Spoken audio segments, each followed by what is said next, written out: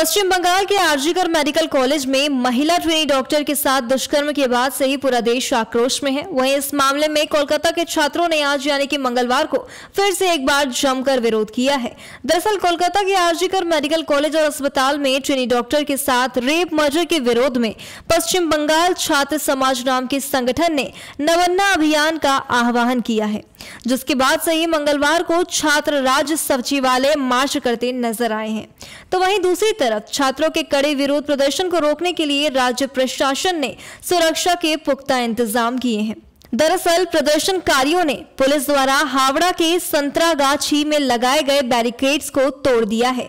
मंगलवार को नावन व आसपास के इलाके में पुलिसकर्मियों की बड़ी फोर्स तैनात की गई।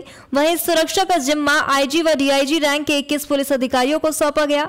इसके अलावा एसपी व डीएसपी रैंक के तेरह पुलिस अधिकारी, अतिरिक्त पुलिस आयुक्त व अतिरिक्त पुलिस अधीक्षक रैंक के पंद्रह अधिकारियों को भी तैनात किया गया। इतना ही नहीं, सुरक्षा को देखते हुए राज्य प्रशासन द्वारा भी कोलकाता के हावड़ा ब्रिज को सील कर दिया गया। किसी भी वाहन को आने जाने की अनुमति नहीं है।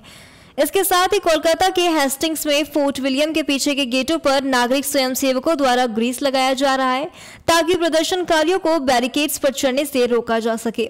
प्रदर्शनकारियों द्वारा किए गए विरोध से अब सियासत में भी काफ़ी अफरा तफरी मची दिखाई दे रही है। दरअसल, तृणमूल कांग्रेस नेता कुणाल घोष ने नावन अभियान के पीछे बड़ी साजिश होने का दावा किया है। टीएमसी नेता ने भाजपा पर आरोप लगाते हुए कहा कि इसके पीछे भाजपा है, जो खून की राजनीति कर रही है। तो वहीं दूसरी तरफ़, केंद्रीय राज्य मंत्री व बंगाल भाजपा अध्यक्ष सुकांत मजूमदार ने कहा कि ममता सरकार छात्रों के आंदोलन से डर गई है, इसलिए उसे दबाने की कोशिश कर रही है।